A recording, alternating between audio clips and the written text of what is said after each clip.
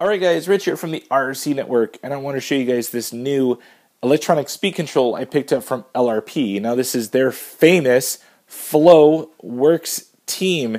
Now this is on the high end of their 1 10th scale brushless sensored speed controls, and the famous part comes from the newest crowned world champion. That would be Steven Hartson, who just won the four wheel drive buggy IFMAR world champion up in Chico, California earlier this year.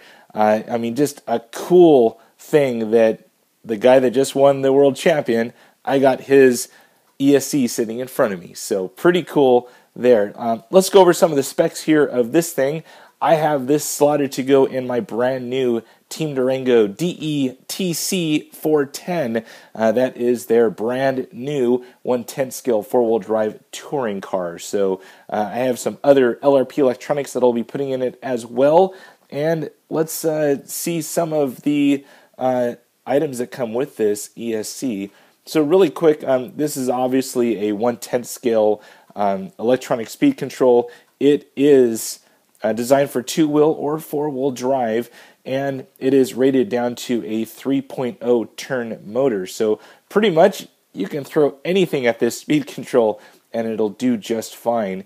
Now, this thing is rated at 400 amps, which is just crazy talk, and uh, you know definitely will help keep some of the uh, heat down with the heat sink right there, and also the um, included fan. So let's take a look at the box here. Let's see some of the other things that um, what the box actually has. And don't worry about model numbers, I'll have that in the video description right down below. Uh, but this is 80970. So they do have a couple of different versions of this that are available. Their competition and then their high end one here, the Works Team. This is definitely the one that all of the world champions use. So pretty cool. Um, other thing with this thing, you are able to uh, not only uh, update the uh, the firmware of this thing through uh, a separate little module USB bridge, uh, but you can also program it directly at the speed control. So no need to drag your laptop or any of that other stuff to the track.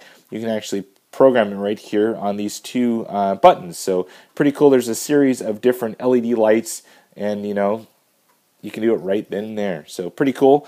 Uh, right down here, some of the champions that have actually used this, and I wanted to make a note here.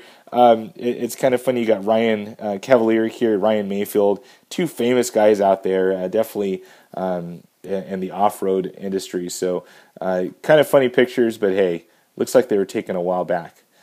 On the flip side here, just some more specs on the, the flow. But let's uh, let's go ahead and crack this thing open. Let's see what we get inside the box here we'll kind of go from there. So right inside, we're e- immediately seeing that um, Works Team Speed Control. Kind of have it laying right inside here. Let's take this thing out. We'll cover this thing in just a little bit. And let's see the supplement package that is inside here. That's it, that's in the box. So you do get the included LRP fan, which looks like a standard, like 30 millimeter size fan. You have a included um, sensor wire, it looks to be about 8 inches um, some zip ties, you got some servo tape, and of course the LRP stickers there, which blue is better. Uh, and then looks like you got some owner's manual. You also have some black and white stickers right here that are kind of peeking underneath here, the LRP stickers. So pretty cool. Now let's look at this speed control.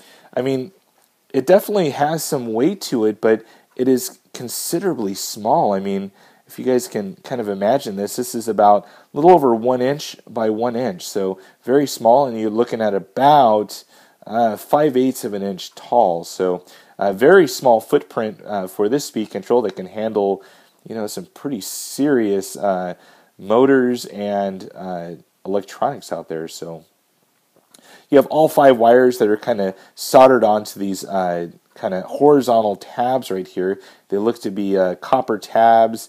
They're just uh, pre-soldered in. You also got the uh, capacitor here that's going off of the battery wires. So looks to to be um, red and black right here for the battery wires, and then it looks to be uh, blue, yellow, and orange, and that's my guesstimate, being colorblind, uh, for the wires going up to the motor. Got your external capacitor right there, which is nice to kind of keep it away from the heat.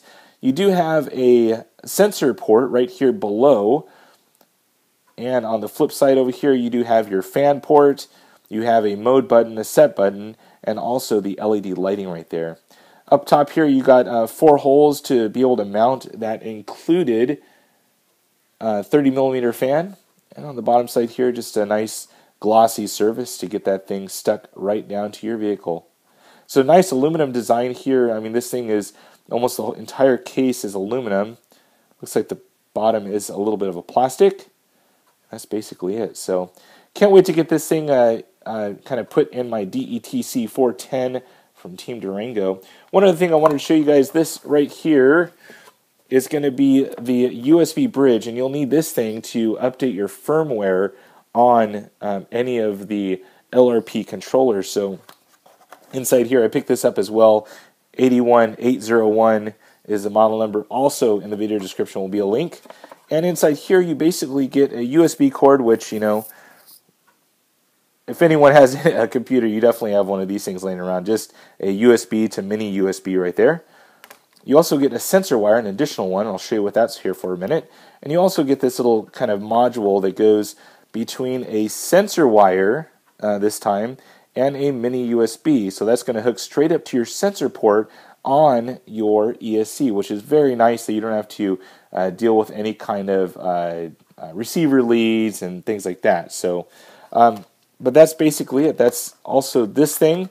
Uh, one other thing I wanted to mention that if you do plan to run an LRP motor, as I happen to have right here, this is the X20, uh, the 5.5 turn.